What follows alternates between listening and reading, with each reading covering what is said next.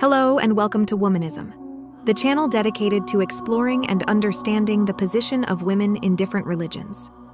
Today, we are going to talk about how Buddhist women engage with social and ethical issues, such as gender justice, environmentalism, and peace. Buddhist women, as practitioners and agents of Buddhism, have been actively involved in addressing and resolving these issues, both within and outside the Buddhist community. They have used their voices, skills, and resources to promote and advocate for the values and ideals of Buddhism, and to contribute to the well being and harmony of all beings. One of the most pressing and pervasive issues that Buddhist women face is gender justice, which refers to the fair and equal treatment of women and men in all aspects of society. Gender justice is not only a matter of human rights, but also a matter of spiritual significance, as it affects the dignity and potential of every human being.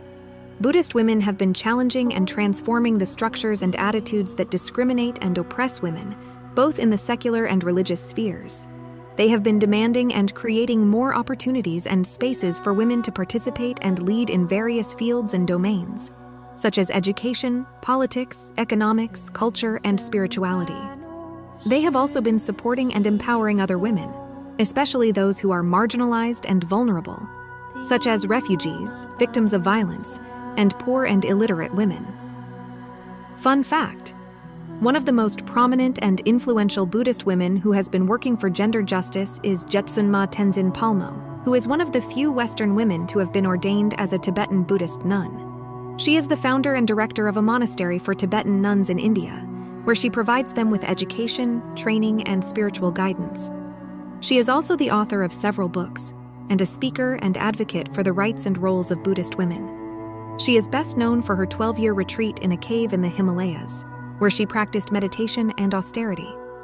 Another important and urgent issue that Buddhist women engage with is environmentalism, which refers to the protection and preservation of the natural environment and its resources. Environmentalism is closely related to the Buddhist concept of interdependence, which recognizes that all phenomena are connected and interrelated, and that the actions of one affect the well being of all. Environmentalism is also inspired by the Buddhist concept of compassion, which extends to all living beings, not only humans, and which motivates one to act for the benefit of others, not only oneself.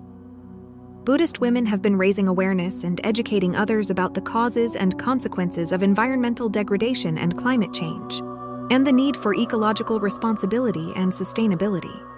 They have also been initiating and participating in various projects and campaigns that aim to conserve and restore the environment, such as planting trees, cleaning rivers, recycling waste, and promoting green and organic lifestyles.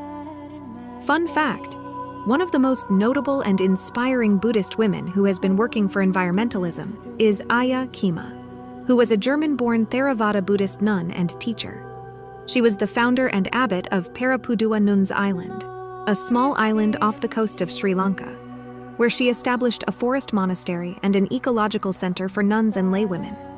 She was also involved in the Sarvodaya movement, a grassroots social development organization that promotes self reliance, democracy, and peace in Sri Lanka.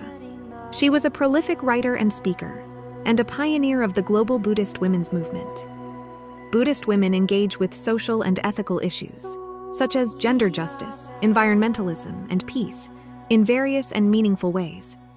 They use their Buddhist values and practices as the basis and motivation for their social and ethical actions, and they use their social and ethical actions as the expression and manifestation of their Buddhist values and practices. They demonstrate that Buddhism is not only a religion but also a way of life that is relevant and responsive to the needs and challenges of the contemporary world. They also show that women are not only followers, but also leaders and agents of Buddhism, and that they have a significant and positive impact on the world.